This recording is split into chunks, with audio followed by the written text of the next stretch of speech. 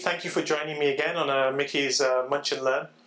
So are you using two databases, um, one for analytics and one for your applications? Typically, um, what I've been seeing is if you've got an application that runs on a relational database using OLTP transactions, then you know one of the challenges you have is how do you actually get your analytics um, information out of that database because it can actually hinder performance.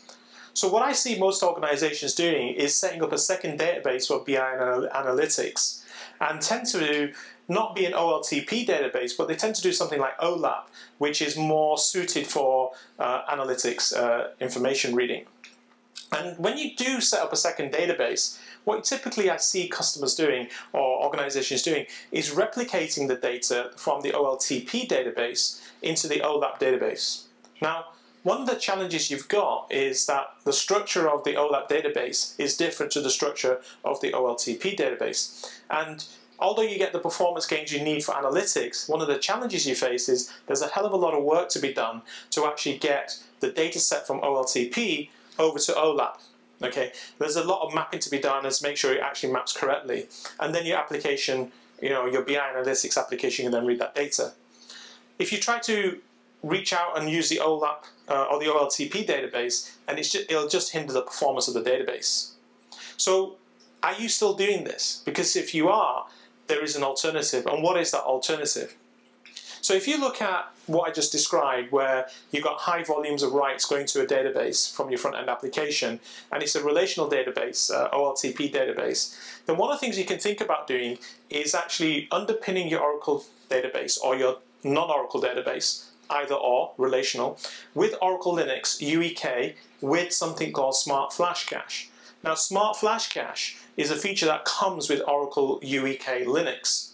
And what it does, it underpins as part of the operating system a feature that actually enhances the speed of the database, an OLTP database, and uh, or a relational database. So what this means is you can actually plug your BI analytics tool straight into your existing database without having to replicate it onto something like an OLAP or even setting up an OLAP in the first place.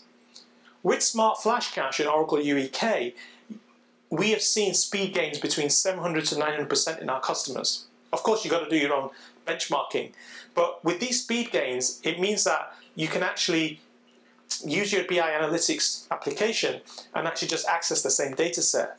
Now the great thing about this is the applications don't know Smart Flash Cache exists. It's incognito, it just runs in the background. As far as the application is concerned, there's no modifications required, no integration required, it just works. The other great thing about UEK and Smart Flash Cache, it can be implemented on premise. It's not a cloud deployed solution from Oracle Linux.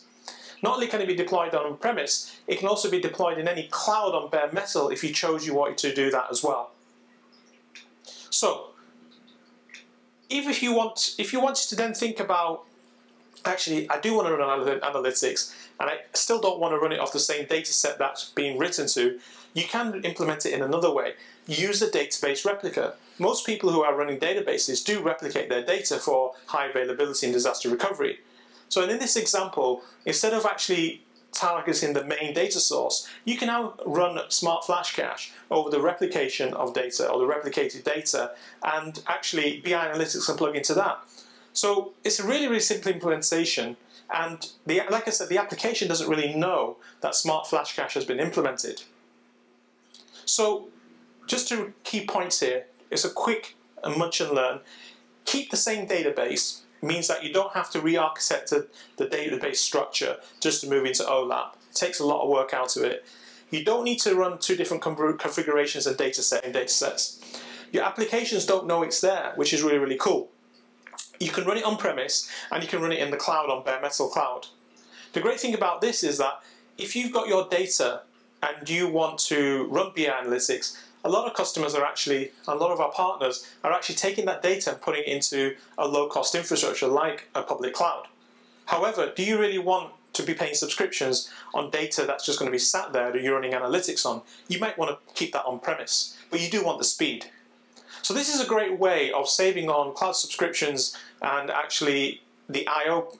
subscriptions and the data subscriptions that you have to pay in a cloud environment and just keep the BI Analytics data set on premise. And you can do that in one or two ways. You can either have a data replica on prem or you can just have a pure on prem whole complete configuration. So with the data set replication on-prem, you can have your main data set in the cloud. So if your clouds are already cloud native, but you don't want to use the cloud for data analytics, then replicate it off-premise using Oracle Linux UEK with Smart Flash Cache. Anyway, I hope this was interesting. Uh, if you want to learn more about UEK uh, on Oracle Linux with um, Smart Flash Cache and how you can use it for data analytics, please get in touch. This is Mickey, and uh, hope it's been a useful session. Thank you.